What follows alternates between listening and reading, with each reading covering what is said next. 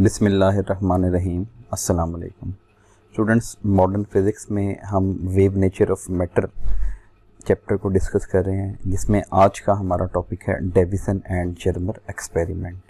हमने इससे पहले देखा कि डिप्रोगले ने एक हाइपोथेसिस दिया और उस हाइपोथेसिस में उसने ये कहा कि अगर कोई वेव पार्टिकल की तरह बिहेव कर सकती है तो हम पार्टिकल्स को भी वेव की तरह जो है वो ट्रीट कर सकते हैं।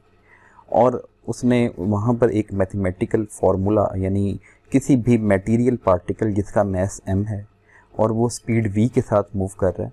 तो उसके साथ एक एसोसिएटेड वेवलेंथ जिसको डिब्रोगले वेवलेंथ भी कहा जाता है, जिसकी वैल्यू आप lambda is equal to h divided by m v वाले फार्मूले से निकाल सकते हैं। तो इसका मतलब है बेसिकली जो वेवलेंथ है वो डिपेंड करती है मोमेंटम ऑफ़ द पार्टिकल के ऊपर। तो इस एक्सपेरी इस हाइपोथेसिस को एक्सपेरिमेंटली सबसे पहले जिसने प्रूव किया, वो था डेविसन और जर्मर का एक्सपेरिमेंट अब इसमें हम सबसे पहले इसका बैकग्राउंड देखते हैं कि सबसे पहला काम तो यही हुआ कि डी ब्रॉगले ने वेव नेचर ऑफ़ मैटर का आइडिया जो है वो दिया और उसने is equal to m c square यानी आइंस्टाइन की मैथ एनर्जी केवलेंस को जो है उसने यूज़ किया और दूसरे नंबर पे उसने फ़ोटो यानी जो प्लैंक्स की एजम्पन थी इजिकल टू एच एफ़ इन दोनों को उसने इक्वेट करके ये फॉर्मूला निकाला।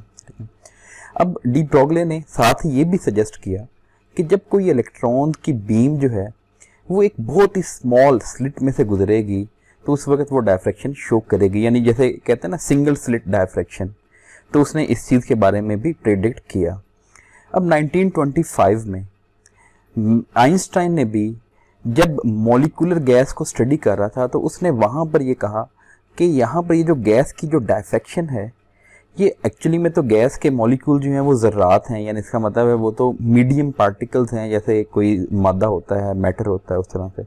लेकिन वो डाइफ्रेक्ट कर रहे हैं, उनके जो डाइफ्रेक्शन अफेक्ट थे, उस डाइफ्रेक्शन अफेक्ट को उसने देख के कहा कि इसका मतलब ये हुआ कि कोई भी छोटा पार्टिकल जब मूव कर रहा होगा तो उसके साथ उसकी जो वेव प्रॉपर्टीज़ हैं, वो क्या करेंगी? डोमिनेट करेंगी, जिसकी वजह से आप डाइफ्रेक्शन या इंटरफेरेंस इफ़ेक्ट जो है वो उनको ऑब्ज़र्व कर सकते हैं। तो इसका मतलब है कि बैकग्राउंड में कुछ जो है वो एविडेंसेस मौजूद थे। उसके बाद वॉल्टर एलेसर, उसने इलेक्ट्रॉन की स्कैटरिंग को जो है वो डिस्कस किया। बेल लैब न्यूयॉर्क अमेरिका में एक लेबॉर्ट्री है बेल लेबॉर्ट्रीज उनको कहा जाता है। उसमें इलेक्ट्रॉन के डाइफ्रेक्शन इफ़ेक्ट के ऊपर डेविसन और कॉन्समैन जो है उन्होंने बहुत सारे एक्सपेरिमेंट किए। तो उसने देखा कि जो स्लो इलेक्ट्रॉन्स हैं, यानी लो एनर्जी इलेक्ट्रॉन्स हैं, वो स्कैटर हो सकते हैं या हो रहे हैं। अब प्रैक्टिकली इस चीज़ को कम्प्लीटली एनालाइज करने के लिए डेविसन और जर्मर इन दोनों ने एक एक्सपेरिमेंट किया उसी लेबॉर्ट्री में 1927 में। और वहाँ से ये साबित किया कि वाकई ही जब कोई छोटा पार्टिकल एक हाई स्पीड के ऊपर मूव कर रहा होता है तो वो जब किसी भी जो है वो स्लिट से या एक सूटेबल मीडियम से टकराता है तो वो बिल्कुल वेव की तरह की जो डायफ्रेक्शन प्रॉपर्टीज़ हैं, वो शो करता है। ये इसकी एक्सपेरिमेंटल अरेंजमेंट है ज़रा इस अरेंजमेंट को देखें। इसमें ये तो ग्लास चैम्बर है, ये वैक्यूम चैम्बर है इसके अंदर। अब एक्चुअली में देखें, ये एक फिलामेंट है। फिलामेंट आप जानते हैं नॉर्मली एक ऐसे ही जो है मेटल से बना होता है, जिसका आयोनाइजेशन पोटेंशियल बहुत कम होता है। तो यहाँ पर एक बैटरी है, ये बैटरी इस फिलामेंट में से करंट जो है वो पास करवाएगी। फिलामेंट हीटअप हो जाएगा। और इसके अंदर से जो इलेक्ट्रॉन है, वो क्या करेंगे? इजीली एमिट होना शुरू हो जाएँगे। यानी थर्मियोनिक अमिशन के लिए हम इस फिलामेंट को यूज़ कर रहे हैं। दूसरे नंबर पे एक और बैटरी यहाँ पर लगाई हुई है, एक लार्जर बैटरी जिसका नेगेटिव टर्मिनल तो आपने यहीं कनेक्ट कर दिया है, और जो पॉजिटिव टर्मिनल है, वो कनेक्ट किया है इन दो प्लेट्स के साथ। और इन दो प्लेट्स के बिल्कुल यहाँ पर आपने एक छोटा सा सुराख कर दिया, यानी स्लिट बना दिए ताकि इलेक्ट्रॉन की बीम जो है वो इस स्लिट में से क्या हो सके पास कर सके। अब होगा ये कि आप देखें, ये जो फिलामेंट है, इसका पोटेंशियल लो है। ये देखें, ये बैटरी के नेगेटिव टर्मिनल से कनेक्टेड है। एक्सेलरेटिंग वोल्टेज वाली बैटरी को देखें। और ये जो प्लेट्स हैं, ये बैटरी के पॉजिटिव टर्मिनल से कनेक्टेड हैं। तो इसका मतलब है इलेक्ट्रॉन को फिलामेंट रिपेल करेगा और ये प्लेट्स अपनी तरफ़ अट्रैक्ट करेंगी।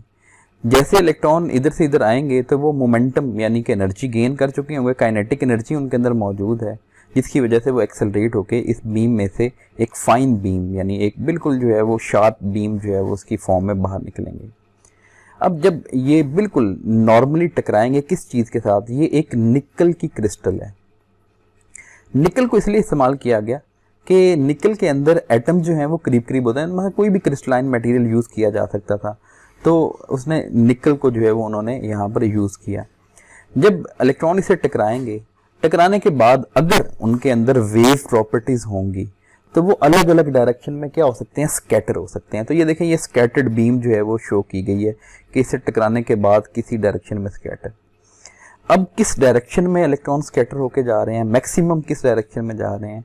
उसके लिए एक ये मूवेबल इलेक्ट्रॉन डिटेक्टर है। एक्चुअली में ये समझ लें, एक जो है ना एम मीटर होता है।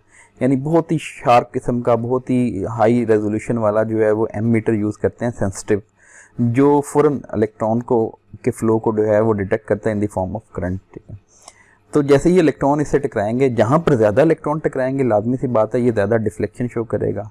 तो आपको पता चल जाएगा कि इस पर्टिकुलर एंगल के ऊपर सबसे ज़्यादा इलेक्ट्रॉन स्कैटर करके आ रहे हैं। अब उन्होंने नोट किया कि डिफरेंट एंगल्स के ऊपर ये जो डिटेक्टर है डिफरेंट इंटेंसिटीज शो कर रहा है, ठीक है।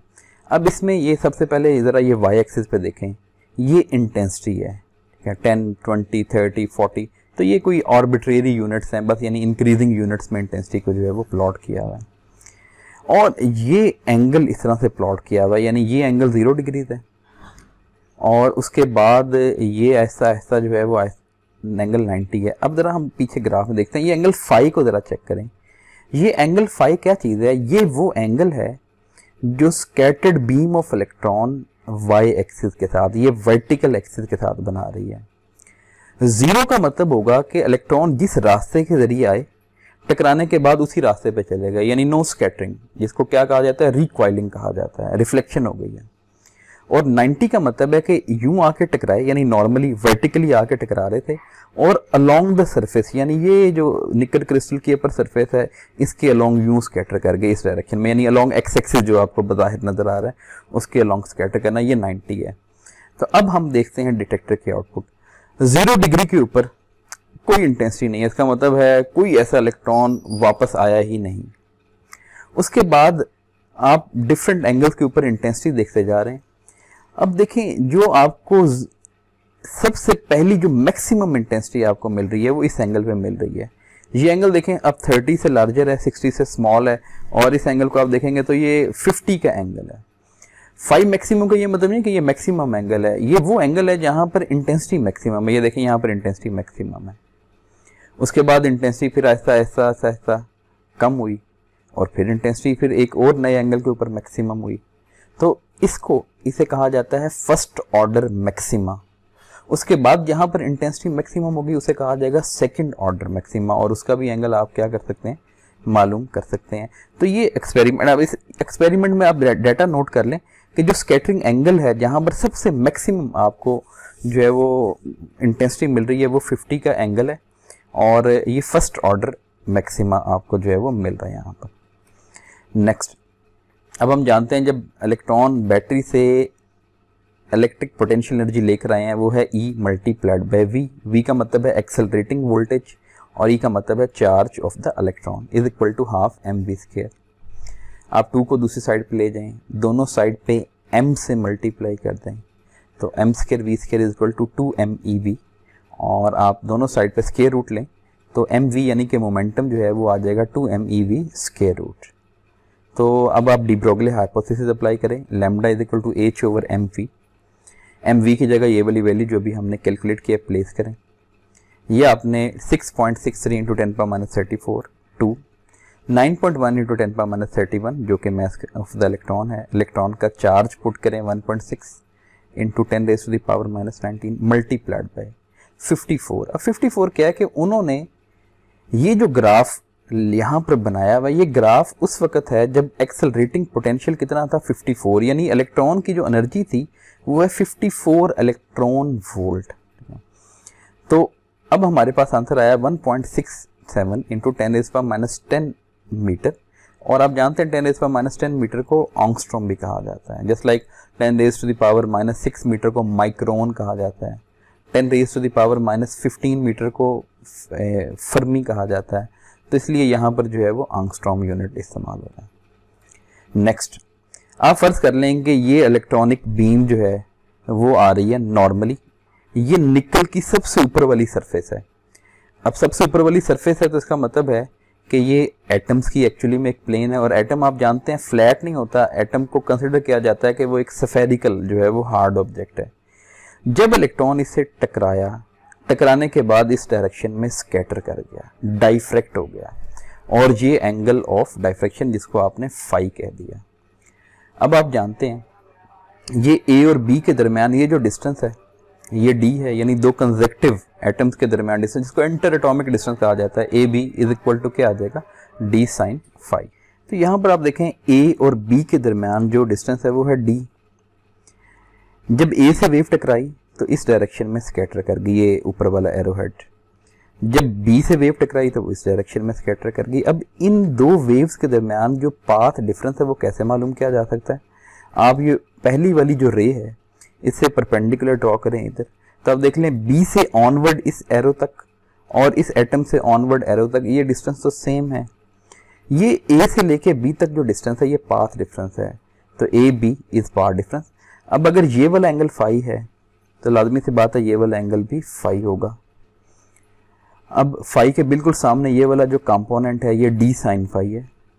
तो डी साइन फाइव किसके बराबर होना चाहिए? एन लेमडा ये डाइफ्रेक्शन ग्रेटिंग वाला जो है वो हम यहाँ पर रिलेशन यूज़ कर रहे हैं। अब कुछ लोग कंफ्यूज करते हैं इस चीज़ को कि हमने यहाँ पर ब्रैग्स लॉ क्यों नहीं इस्तेमाल किया? ब्रैग्स लॉ उस वक्त इस्तेमाल किया जाता है, जब इलेक्ट्रॉन की बीम जो है, वो दो पैरेलल प्लेन से जो है, वो क्या स्कैटर हो। यानी ये ऊपर वाली प्लेन है और इसके नीचे एक और एटॉमिक प्लेन हो। तो कुछ इलेक्ट्रॉन ऊपर वाली प्लेन से और कुछ इलेक्ट्रॉन नीचे वाली प्लेन से क्या होंगे स्कैटर होंगे तो वहाँ पर ब्रैग्स लॉ इस्तेमाल किया जाएगा। Two d sine theta is equal to n lambda. और वहाँ पर डी जो है, वो इंटर एटॉमिक डिस्टेंस नहीं होगा, उसे कहा जाएगा इंटर प्लेनर स्पेसिंग यहाँ पर डी का मतलब है इंटर एटॉमिक डिस्टेंस के दो कंजेक्टिव एटम के दरमियान डिस्टेंस कितना है। वजह क्या है कि हमने ये सारे इलेक्ट्रॉन अपर सरफेस से क्यों जो है वो डाइफ्रेक्ट करवा दिए हैं, या शो ऐसा क्यों किया हुआ है? उसकी रीजन ये है कि हमने लो एनर्जी इलेक्ट्रॉन इस्तेमाल किए हैं। तो लो एनर्जी इलेक्ट्रॉन में इतनी ज़्यादा पेनिट्रेशन पावर नहीं होती कि वो इस तरह से क्रिस्टल के अंदर दाखिल हो जाए जस्ट लाइक एक्सरेज के अंदर पेनिट्रेशन पावर काफ़ी ज़्यादा होती है। तो यहाँ पर ये इलेक्ट्रॉन की डायफ्रेक्शन जो है वो होगी। तो A B is equal to D sine five which is equal to N lambda तो डायफ्रेक्शन ग्रेटिंग वाला फॉर्मूला यहाँ पर यूज़ कर रहे हैं। अब यहाँ पर आप आप देख सकते हैं कि एक्सपेरिमेंटल वेवलेंथ जो है वो हमने कैसे किया कि निकल एटम को हमने एक रिफ्लेक्शन डायफ्रेक्शन ग्रेटिंग के तौर पे इस्तेमाल किया। Only the surface layer of atom is considered because low energy electron unlike x rays do not penetrate deeply into the crystal उसके बाद कंस्ट्रक्टिव इंटरफेरेंस उसी वक्त होता है, जब पाथ डिफरेंस यानी डी साइन फाइव किसके बराबर हो? वेवलेंथ का इंटीग्रल मल्टीपल हो तो d sine five equal to n lambda. और उस वक्त जो इंटर एटॉमिक डिस्टेंस था निकल का, जो बेस्ट नॉन था, जो एक्सरे डाइफ्रेक्शन टेक्निक के ज़रिए ही बेल्स लेबॉर्ट्री में कैलकुलेट किया गया था, वो था 2.15 ऑंगस्ट्रॉम तो इन तमाम डाटा को, यानी डी की वैल्यू, स्मॉल डी की वैल्यू, ये आपके पास है 2.15 ऑंगस्ट्रॉम यूज़ करके। हमने d sine five equal to n lambda वाला फॉर्मूला अप्लाई किया। अब फाइव की वैल्यू 50 थी जो आपने जो है वो ग्राफ में देखी कि यहाँ पर फ़र्स्ट ऑर्डर आपको मैक्सिमम दिखाई दे रहा है। एन इजिकल टू वन है। डी की वैल्यू 2.15 है। आप यहाँ पर प्लेस करें और लेमडा की वैल्यू आ जाएगी 1.65 आंगस्ट्रॉम और ये जो आंसर है, ये बिल्कुल जो डी ब्रॉगले वेवलेंथ हमने यहाँ पर कैलकुलेट की है, उसके क्या आ रहा है? करीब आ रहा है। तो इसका मतलब ये हुआ डिफरेंस आप देखें, बहुत स्मॉल डिफरेंस है, कोई मेजर डिफरेंस नहीं है 0.02 और आंगस्ट्रॉम तो 0.02 multiplied by 10 raise to the power minus ten तो it would become two into ten raise to the power minus twelve जो टू पिकोमीटर का डिस्टेंस है सिर्फ़, यानी डिफरेंस है। इसका मतलब ये हुआ कि ये तो बहुत ही कम नेग्लिजिबल डिस्टेंस वो वो है। तो इसका मतलब ये हुआ कि जो हमारे पास इलेक्ट्रॉन हैं, इस वक्त बिल्कुल ऐसे बिहेव कर रहे हैं जैसे कोई रेडिएशन जो है वो किसी जगह से टकराने के बाद क्या हो गई है डायफ्रेक्ट हो गई है।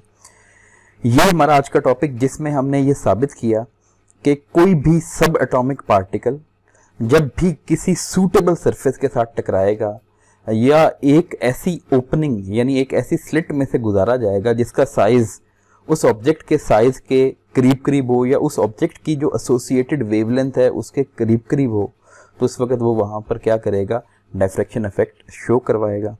कोई क्वेश्चन है तो आप कमेंट सेक्शन में पूछ सकते हैं। अपना ख्याल रखिएगा। अल्लाह हाफिज़।